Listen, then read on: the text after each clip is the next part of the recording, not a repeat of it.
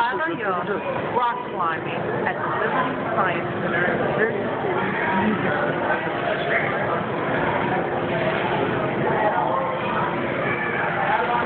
Yeah, buddy.